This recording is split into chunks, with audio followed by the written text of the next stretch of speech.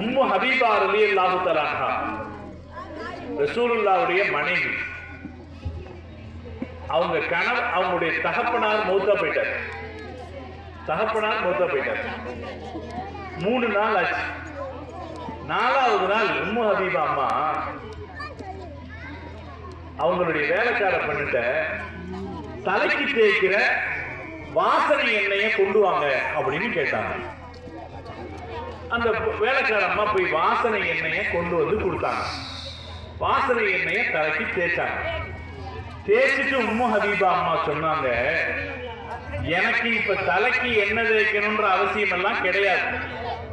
ஆனால் நபி ஸல்லல்லாஹு அலைஹி அவர்கள் சொல்லி இருக்கிறார்கள் யார் ஒருவர் இறந்து போனாலும் மூன்று நாட்கள் மாத்திரமே துக்கம் அனுஷ்டிக்கலாம். அதற்கு மேல் துக்கம் அனுஷ்டிக்க கூடாது என்று நபி சொல்லியிருக்காங்க. என் தகப்பனார் இறந்து போய் மூணு நாள் ஆச்சு. இன்னைக்கு நாலாவது நாள். நான் துக்கப்படவில்லை என்பதை காட்டுவதற்காக என்ன பூசுகிறேன் நான்? எவ்வளவு தெளிவு? இந்த தீனின் மீது எவ்வளவு தெளிவு? தீனை பிறர் கடைபிடிப்பதில் வழிகாட்ட வேண்டும் என்பதில் எவ்வளவு தெளிவு? தீர்மானம் என்ன உறுதியான தீர்மானம்? இதுதான் முஸ்லிம் தாய்மார்களுடைய இயல்பு. எனவே நான் ரொம்ப அதிகமா இந்த இடத்துல பேச நினைக்கல. உங்க மனசுக்குள்ள ஒரு கருத்தை மட்டும் சொல்லிட்டு போறேன். நபிசல்லா ஸல்லல்லாஹு சொன்னாங்க மார்க்க ஒழுக்கமுடைய பெண்ணை கைப்பிடித்து நீ ஜெயிச்சுக்க அப்படின்னு ரசூல்லா சொன்னாங்க. அது நமக்கு சொல்ற செய்தி என்னன்னா ஒவ்வொரு குடும்பத்தையும் ஜெயிக்க வைக்கிறது அந்த குடும்பத்தை வழிநடத்துகிற தாய். அதனால ஒவ்வொரு அம்மாவும் ஒவ்வொரு சகோதரியும் என் குடும்பத்தை நான் ஜெயிக்க வைக்கணும் அப்படின்னு நினைக்கிறேன் அதை ஜெயிக்க வைக்கிறதுக்கு என்னெல்லாம் செய்யணுமோ அது பாடுபடணும். அது முதல் கடமை. ரெண்டாவது அதற்கு அடுத்து சமூகத்துக்கு ஏதாவது நல்ல என்று யோசித்து முடியும் என்றால் அதற்கு அடுத்ததாக அது மாதிரியான காரியங்களில் ஈடுபடுவது கூட தாய்மார்களின் கடமை. இந்த கடமையை அவர்கள் உணர்ந்து கொள்ள வேண்டும்.